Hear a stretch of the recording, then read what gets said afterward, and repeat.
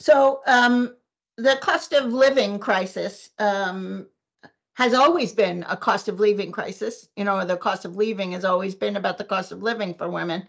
Um, and uh, I think it's really important for us to stop putting this in a, oh, this is one of the many terrible complex problems we have to deal with, and understand that actually um, the cost of leaving um, is uh, directly and totally reflects uh, both both violence against women and girls in Scotland, but also um, a failure to to tackle women's and children's poverty in a serious way.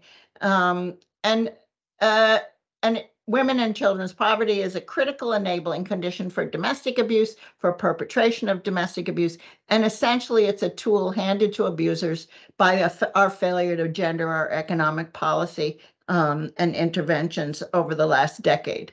Um, the cost of living crisis uh, is is you know essentially the cost of leaving for women and children can be um, living, and uh, and yet we act as if um, women and children's poverty is um, is an artifact of uh, you know women leaving leaving to have children or you know leaving the labor market or that we just need to give women more confidence so they'll go they'll go for higher paid jobs. Um, you can hear the rage.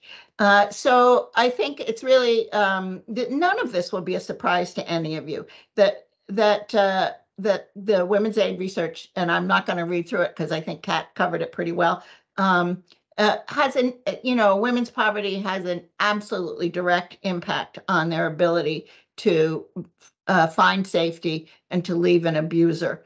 Um, and the cost of living crisis is just like handing abusers um, uh, bigger and better weapons. Um, women, uh, and these, these are, um, uh, this is data from the Office of National Statistics and the Scottish Government stat Statistics. Totally stole this from Joe's slides. Um, uh, but it's really important to, to know what, to unpick and say, well, what does that poverty look like if you're a woman or child living in, um, uh, living with an abusive man? Um, and uh, in the context of social housing, um, in the context of single mother households, which is the, you know, the, the code we use is single parent, but really 90 plus percentage of them are headed by women who have less access to income. Um, and uh, and you can see the the data in here about and I don't take the prevalence data very seriously it's pretty dodgy but in in terms of making the case that that women who are poorer um, uh, that that abusers find it easier to control and abuse them, um, uh, I think that case is quite clear. So here's here's where my rage comes in really far. So um, what's already been agreed? So uh, you know, unite. Well, I think we are pretty united in Scotland. I mean, we have such such support in the Parliament around violence against women. Well, mostly, um, and uh, and girls.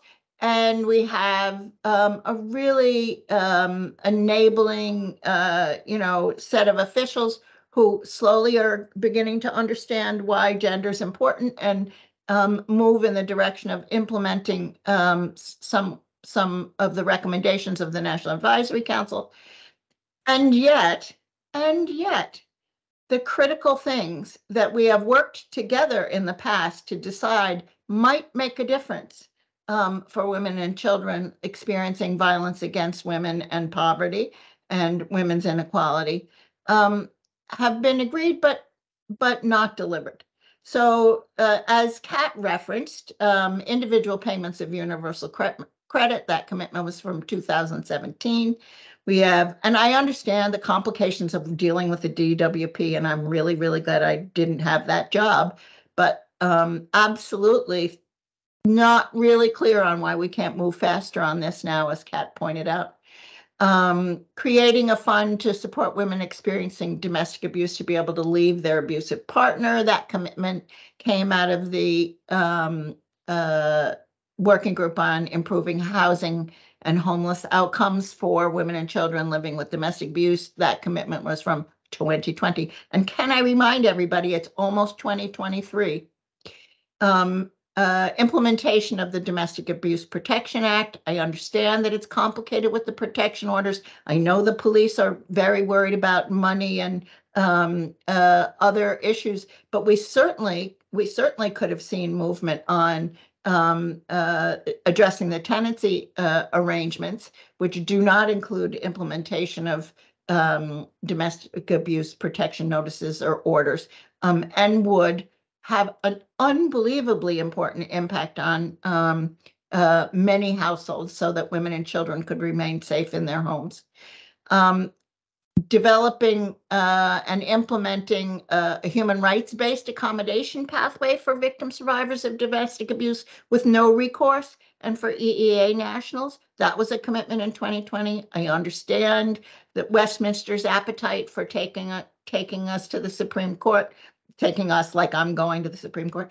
But um, you know, the reality is this is a very bright set of officials and and and uh, parliamentarians and ministers. I know you can figure this out. Um, we figured out the bedroom tax. This this has to be a higher priority, um, and ensure that uh, that women and children who experience domestic abuse are able to access free free domestic abuse competent legal advice and representation.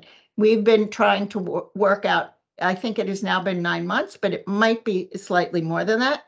Um, uh, the arrangements for uh, extending a, a, a model that would test both the recommendations from um, the independent uh, review of legal aid uh, and women's aids um, uh, conviction that uh, specialist uh, family lawyers uh, would be housed in, in uh, support agencies would be the, the model to go with. Um, nine months, we've been trying to sort out the arrangements for that. Um, and the commitment to providing this across Scotland came from 2020. So now, now you get to share my rage, I hope.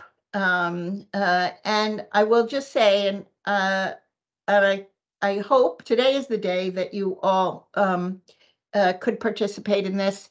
Uh, our survivor reference group uh, has in our work to develop and design a campaign and deliver a campaign that would help bring home that the cost of um, leaving is sometimes the cost of living. Our survivor reference group uh, has is hosting a, a vigil online uh, tonight um, uh, at 7 p.m. We're asking people to join us by lighting a candle, take a photo of that candle or of yourself holding that candle, upload it to social media using the hashtag for them all, um, and uh, let let us take some time uh, to remember Emily uh, and to remember all the children and women who have died because we have failed to eradicate domestic abuse.